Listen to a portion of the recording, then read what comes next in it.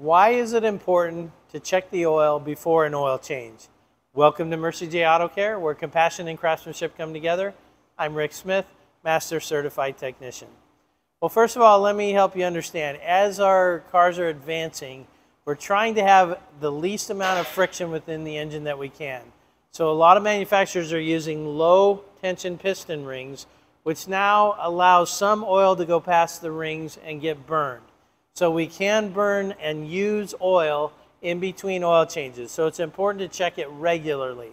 But the reason we check it every time when you come into Mercie J is because we want to know how fast you're burning oil. So if we, we're checking your oil every time before we change it, we know if you burned any since the last time we saw you. And that's important so we know we don't want you to run out of oil at some point.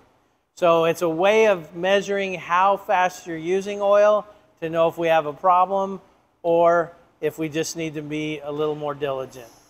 I hope this has been informational to you, and until next time, safe travels and blessings to you.